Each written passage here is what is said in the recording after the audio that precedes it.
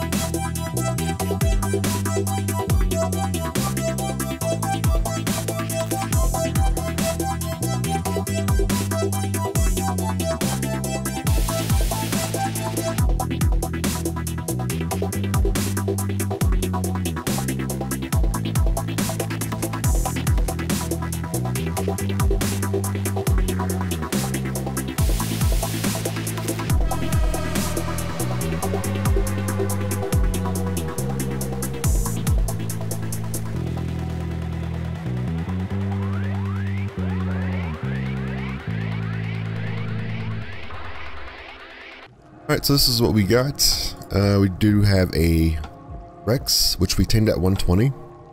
And here's the stats. The stats are terrible. Uh, I just got this one because it's a female Rex. And we'll probably need a bunch of female Rexes to get going on breeding.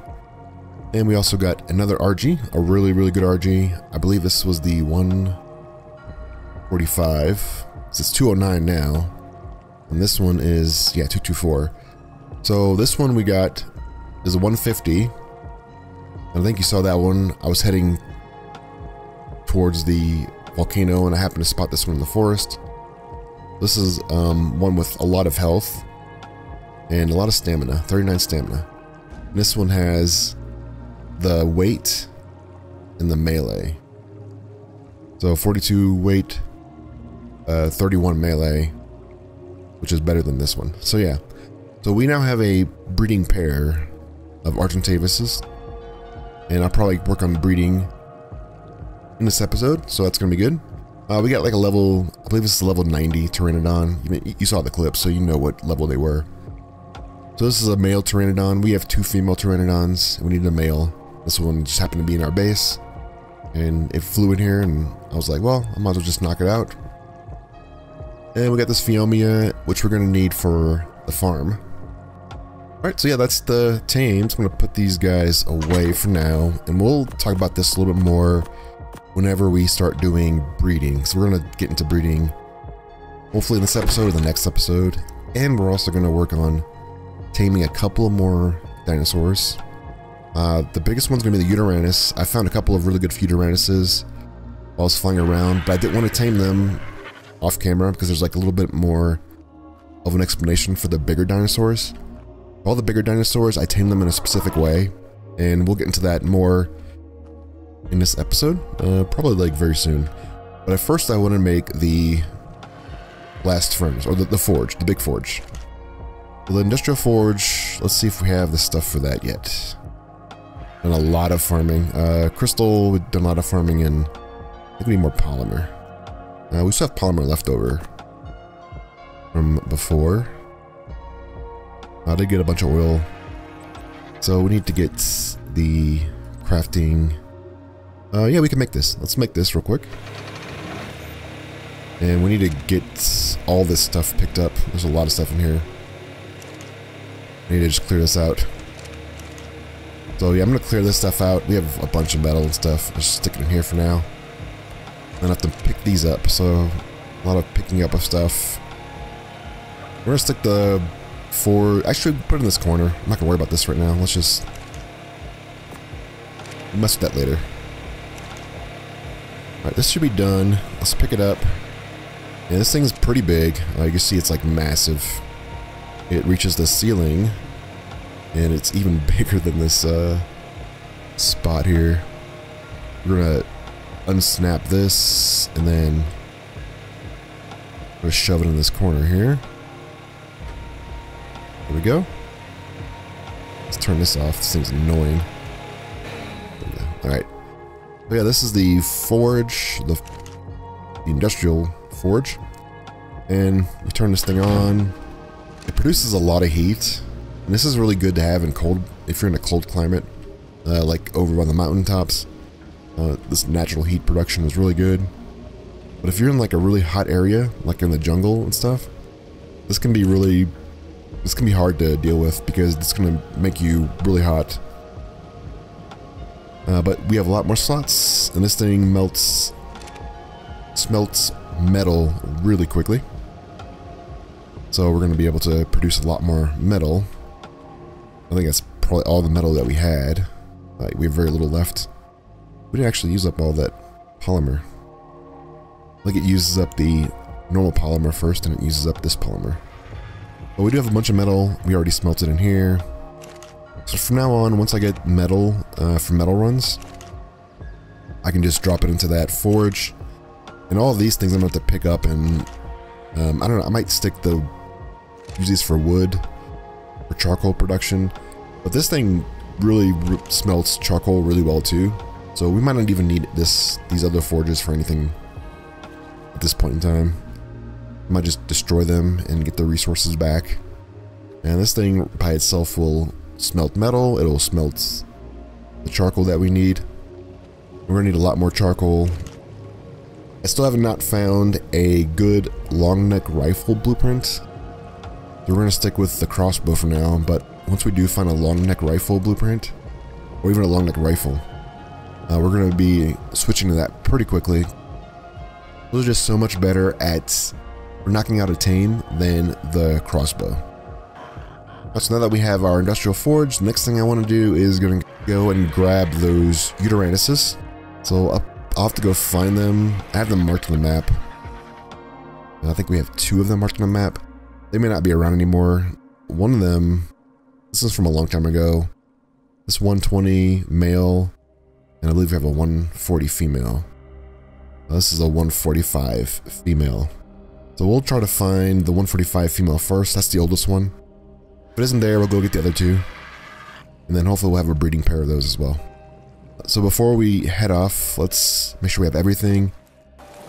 Alright, so I think I have everything that I need. So before you leave, make sure you have at least four behemoth gates and the doors for the behemoth gates. And then also make sure you have at least enough large bear traps for the number of dinos you want to go out and get. If you want to go out and get three dinos, make sure you have at least three. More is better. Uh, you can learn bear traps as an engram, and also you can make them at the smithy, or you can make them on an RG. And of course, everything else that you would normally take when you go out and grab stuff. Let's see, I need to go mark these on the map. We're gonna go for the one here, the one here, and the one here. No, not the Quetzal. There we go. We're gonna go for the one far away, so I'll meet you there, and we'll see if it's still there. Alright, so here we are at the, this is the 145 right here. Female Yutyrannus. And there's another one over here running around. It's Rex, okay. So we got a Rex, we got another Yuty up there. Lots of stuff around here. What I'm probably gonna do is I'm probably gonna bring it to the beach and then take care of it there. There's another Megatherium. And I was over here looking. For, oh, look at that female 145. you just find so many things just randomly flying around. I think it's the best part of the game is just finding these random dinosaurs all throughout the game. Need to mark that now. 145 female. Uh, let's let's just do that real quick. Okay, so that's the 145 Megatherium. I'm gonna grab that one later. So what we want to do is we want to put down the traps. Uh, these traps are very, very big, but a Yutyrannus can fit through them. So what I like to do is I like to just make the, the traps here, like this, and I'll snap them all together. So let's do this. Snap, snap. So we're making a full box. But then when I get to this part here, I'm gonna unsnap and I'm gonna go to K mode here and just zoom out. I want to make a gap that I can actually shoot through, but it can't run through. That's kind of the, the goal, is just to make a little gap. Uh, that should be good. Alright, so now we have a little gap we can shoot through. I need to do the same thing for the other side as well. Let's turn this off. We don't want to follow. We'll make a little gap in this side as well. And the reason I do this is because it's going to be really hard to shoot it if I don't have any sort of gap in between.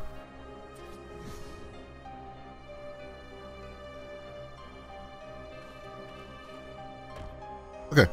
Yeah, so they won't be able to get through this spot, but I can definitely fit through it. Hope I hear it running. Uh, there we go. Put the doors up. Put all the doors up, actually. Well, we'll put the door up later for the last one. So we need to take a trap here. The only thing you might have to worry about is one of the Carnosaurs running through this. But essentially want to get a trap in the middle. There we go. Activated now. And now we just fly through the Yutyrannus into this thing. And then we get it trapped. The Carnos, though, we want to avoid. So if it's fighting something, we can try to get... Like right now, it's actually over there shoot, hitting something. That's the wrong one. Over there. The thing you need to be careful about with the Yutyrannus is that they can fear you. If they fear you, that's bad.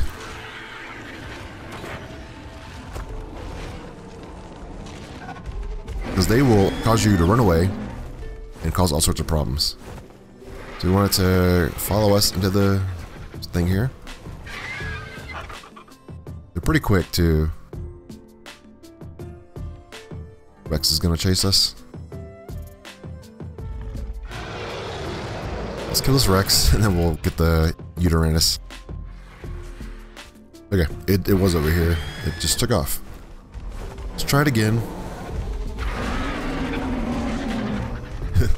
Things having a hard time getting down this hill. Oh, it feared us. This is what we wanted to avoid, is the fear. But it did get on the hill, though, so that's a good thing. So let the fear run its course, and then we can grab it and put it into the trap now. Alright, finally. There we go. Got in the trap. And then we it can't move anymore, so I don't think it can do anything. So once we get in the trap, we can throw the door down, there we go. Now it's in the trap though, so that's what we aim to do. We do need to clear the area though, because I really don't want to be fighting other things like this.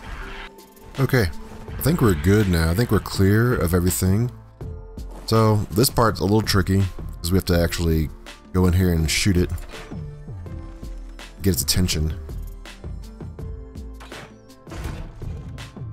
Then we just uh, keep on shooting it, hopefully it's it aggro's onto us and it comes to the edge here.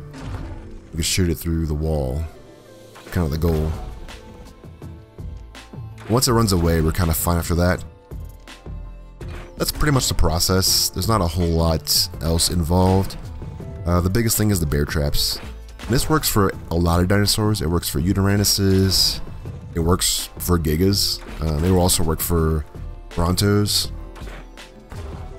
Uh, it'll work for a lot of other things. They do have a lot of torpor, so it's going to take a, a, quite a while to knock them down. Yeah, just focus on the tail, and if you have a hard time getting these things down, you can also put the smaller traps around them, the smaller gates around them. You can box them in even more, also a possibility. But once you have them trapped in a confined area with like the behemoth gates, there's really not much else you have to worry about. There we go. It's down. I might have hit him. let's just track it and see if I accidentally hit him.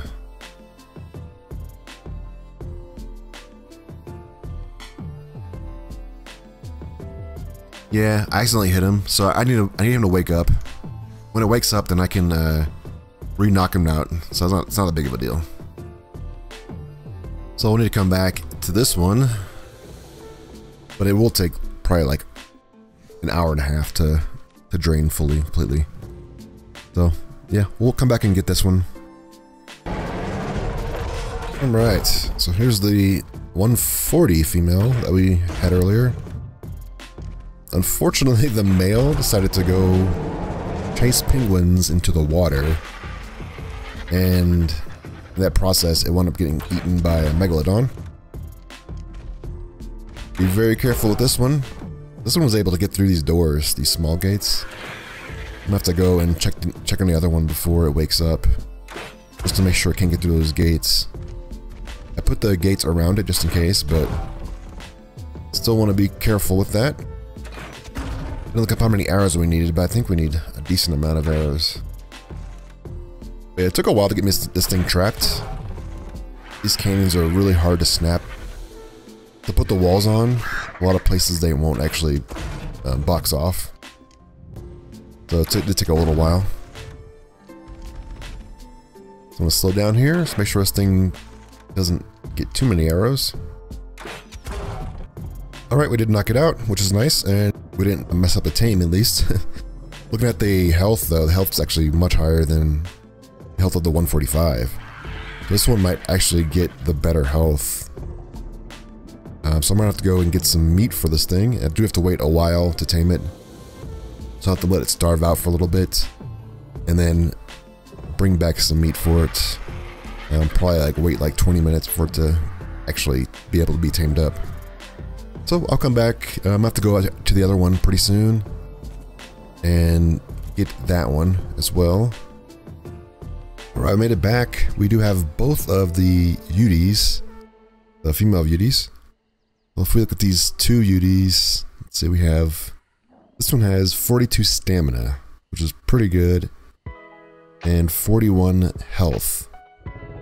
And this one has not very many good things. I guess the melee is the best thing about that one. So 36 melee, which is not too terrible. So with Yutyrannus's, you definitely want health is the most important stat, especially for boss fights. And then the next best one would be the stamina. This one kind of covers both of those.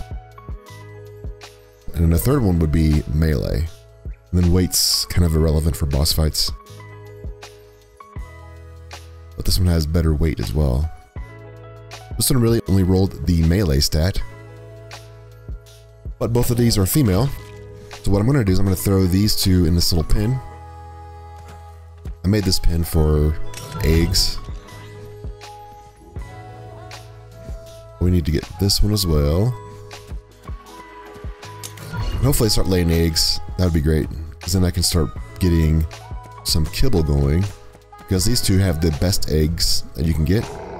And so the Yutyrannus eggs produce the best kibble, the exceptional kibble and that exceptional kibble can be used on any dinosaur. So that's kind of the, the goal is to produce that. But we'll see. We'll see how much we get out of that. I haven't got very much out of the Therizinosaur yet. Alright, so I'm looking at the structures and the crafting, and let's see if we can make one more thing.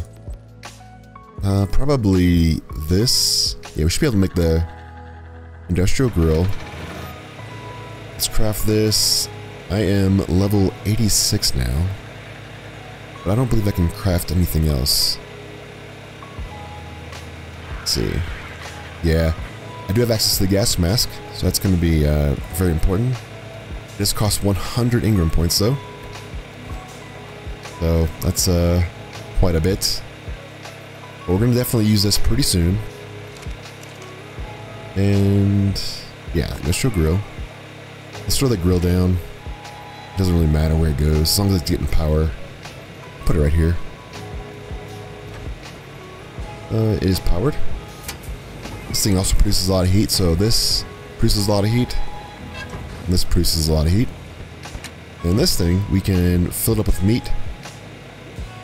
And this grill will quickly cook the meat. We do have two more big machines we need to make. Uh, one of those is going to be the grinder. And the other one's going to be the cooker. The cooker's level 88 though So we're at the point now where we need to talk about breeding because this is going to be one of the more important things to get going. And it does take a long time to breed stuff and get all the stats on the right dinos. So the first thing we want to do is we want to identify which stats that we want the children to inherit. And how we decide that is based on what their role is.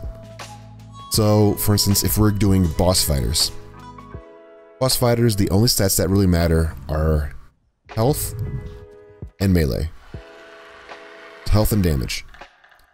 For things like Argentavis's, like flyers, stamina is more important. Or weight's more important. And then for like gathering dinosaurs, like the mammoths, then weight and melee would be good.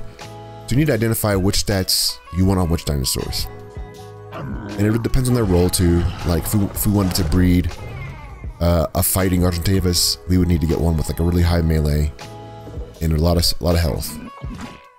And then we wouldn't put as much emphasis on weight and stamina. So for instance, these two Argentavises that we have, we're to have to breed Argentavises. And the stats that we're to look for are to be the health, stamina, weight, and melee. So if you're on official servers, you're probably not going to do as many stats as that because there is a cap onto how high of a level of dinosaur you can have. But if you're on like unofficial or if you're doing like a private server, then there's no cap. So you can actually get all the stats, it doesn't matter. There's ways to get lower stats onto other dinosaurs. And right now what we're going to do is we're going to focus on getting the four main stats, the health, stamina, weight, and melee, onto an Argentavis. So what we do now, now that we've identified the stats, those four stats, we need to see which ones have the best stats in those categories. So if we look at the female Argentavis that we have, it has 46 health, which is the highest, and 39 stamina, which is the highest. So now that we know that this one has the highest health and stamina, what we want to do is we want to say sort out and then rename this to HP Stan. And I mentioned before, you can use the export feature where you can go to export dino and then you can export the dino into an app like the Ark Breeder app. Then you can import that dino and then you can get the stats from that dino and then you can change the name set the name to the stats so we know that this HP is 46 and stamina is 39. This is important because you need to start tracking the stats that you want to move onto the children. And it's really easy to, to just uh, look at the parents and see what their stats are and then compare it to the children. So if you don't have the Ark Smart Breeder app, it's totally fine. What you then have to do is two things. The first thing you need to do that's very important is don't level up your dino. Put no points into the, into the stats because you want to get the pure stats that it has on it already. At that point, you can compare the two dinos that you have. So for instance, these two Argentavises. And we can see that the this one has 3723 health. This one has 2847. So what we'd have to do is we have to write down 3823 and then change the name to HP 3823 and then that, that would keep track of the actual the raw health set. And you could do this on official servers. You can also use a smart breeder app on official servers, like that's all possible too. So if you want to get just the raw health stat, you can do that and put that on the name as well. And then for the stamina, you look at stamina and just put 1180. And the full name would just be HP, then 3723, or and then ST 1180. So that would be kind of what you want to do. You just want to keep track of the stats that are the best that you're trying to track.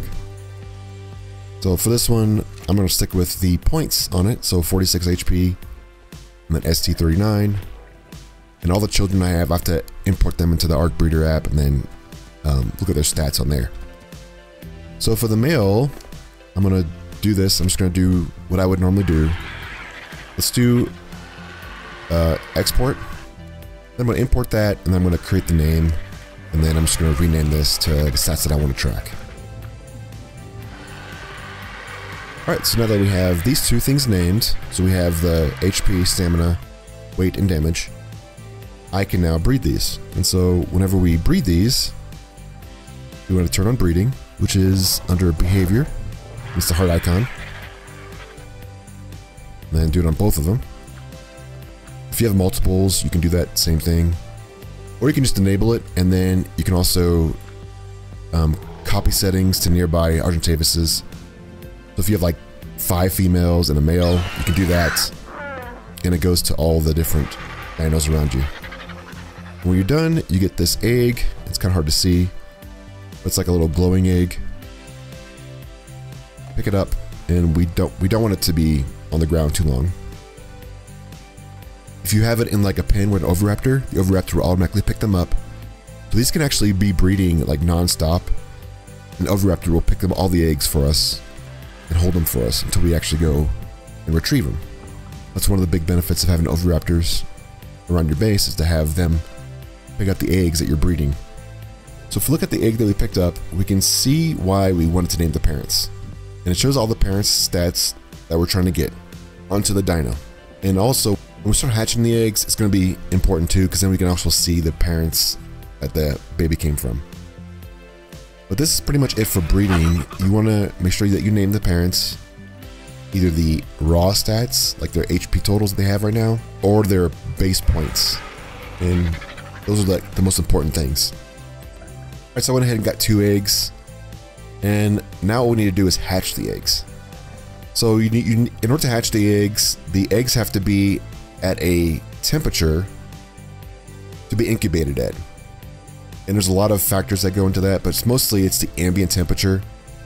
So look at right now, it's 20 degrees Celsius. It's probably gonna be too hot for an Argentavis egg. So if we throw it out, we can see that this egg is losing health instead of the incubation going down. That means it's going to be too hot, and it even says that it's too hot in the upper left corner of that interface. So let's pick it up, and what we want to do now is we need to get air conditioners. And this will help us regulate the temperature so that we can throw these out. If you look now, that's actually incubating, and it says incubating timer, and it shows a timer of how long it'll take. So let's throw out both eggs. And this is going to be the next step is to incubate the eggs. If you're breeding mammals, the incubation's done inside of the, the parent, the mother. So you won't require air conditioners for mammals.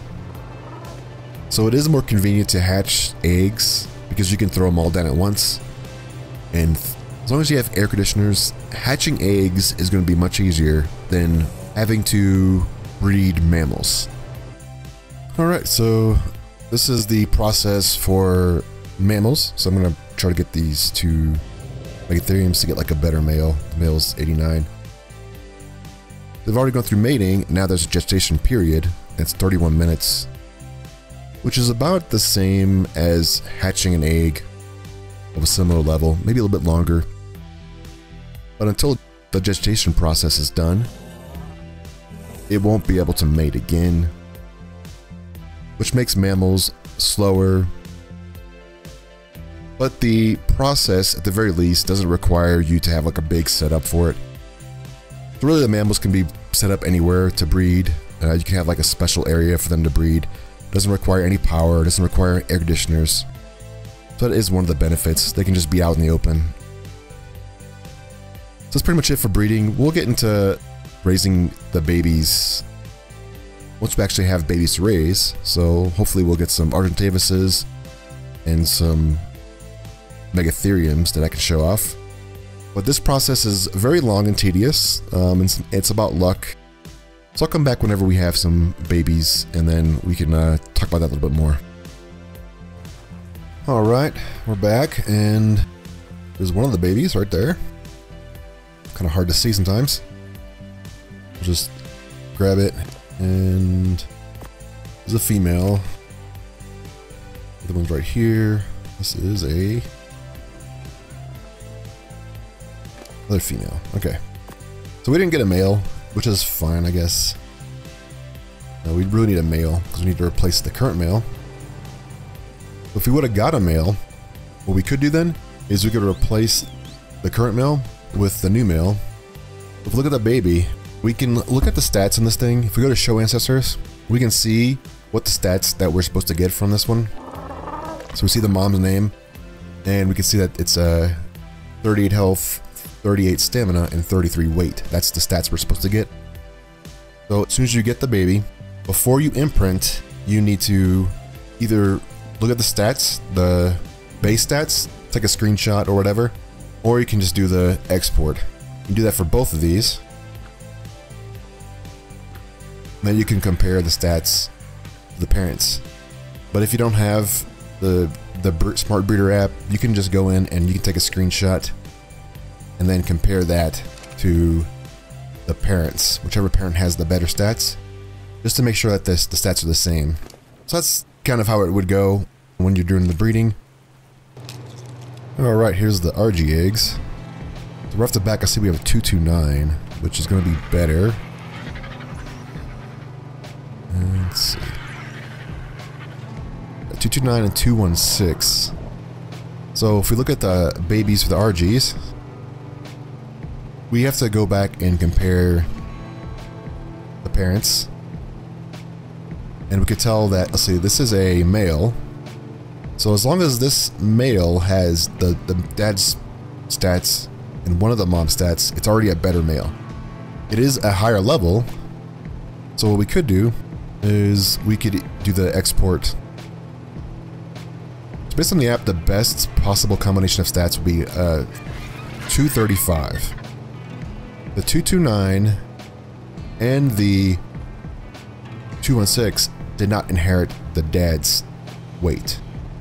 So we can't replace the male with either one of these, which is unfortunate. So we're probably going to have to get rid of one of these. You can raise them if you want. Like if they were females, you definitely want to raise them to have more egg layers. If you do have ones that you want to raise, you will get this option to imprint. And if we hover over this one, it says that it wants to cuddle. All we have to do is press E, and we get an imprint. So my imprinting bonuses are way higher, so your imprinting bonuses may be lower, depending on what settings you're on. Definitely want to imprint the ones that you want to keep, and imprinting is just a way to boost up the stats of the dinosaur. And like I said before, you don't want to imprint them until after you have gotten the stats down, because once you imprint them, the stats do change. So we see we have 88% imprinting, and the stats have gone up. So there's like a bonus to their stats based on how much you've imprinted with them. And they also get a bonus if you actually ride them too. So there's two bonuses that you get from imprinting. Imprinting's far more important on dinosaurs that are going to be in boss fights. Like it's a big part of their damage and their health. Oh, this one came with me. There's different ways to imprint. There is the cuddle, which is the easiest. You just press E. There's the walking option, which is what we're doing now. We have to have it follow us, and then it'll follow us for a little while, and then it'll imprint, and then uh, you'll be able to put it back where it started at. And there are other ways to imprint, like feeding it certain types of foods, and you do have to be very careful when you're doing that because there might be some foods that you don't have access to, like certain kibbles. So just keep that in mind. Because raising babies can take up a lot of resources, a lot of food specifically, uh, and raising a lot of babies at one time can be very, very painful, uh, especially on your food resources. You're going to be doing a lot more food runs to get the meat that you need to raise them. So a baby has to be fed, hand fed, until it reaches a juvenile, which is 10%. And that can vary depending on your settings. But this one, these guys are 3%. So I would need to be feeding these things for a while, probably like 20 to 30 minutes before they're ready to be feed from the actual trough. So keep that in mind. You're going to be spending a lot of time uh, feeding these things. And so having ones that you're not going to be using and, and, you're still raising them is not always the best option. And there are some babies that are incredibly intensive on food, and that's the bigger dinosaurs, like the Rexes, the Gigas, those are very, very food intensive, and you're to need to have a lot of food on hand before you can start raising those. I believe the Yuties as well. You don't want to raise too many of those unless you have a method to actually get a lot of food. So I'm to start raising these guys, and I'm to continue breeding the Megatheriums. They're almost ready to mate again.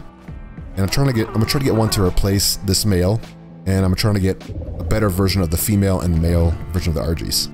It's kind of the next step for raising these things.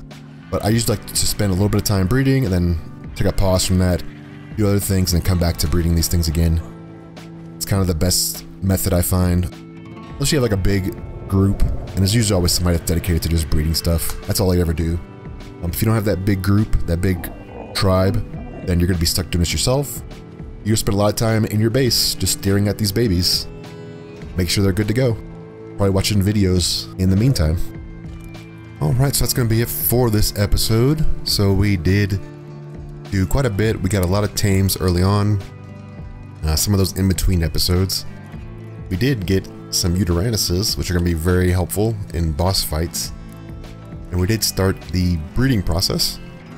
That breeding process, it's going to take a while to get that to be completed. So I wanted to start on it early, and I wanted to try to get that going while I'm doing other things. So it does help a ton when you're spacing it out. I did make another compilation of all the drops that I've gotten recently over this episode and even in between episodes. So I'll just show that at the end. But that's going to be it for the episode. I thank you for watching.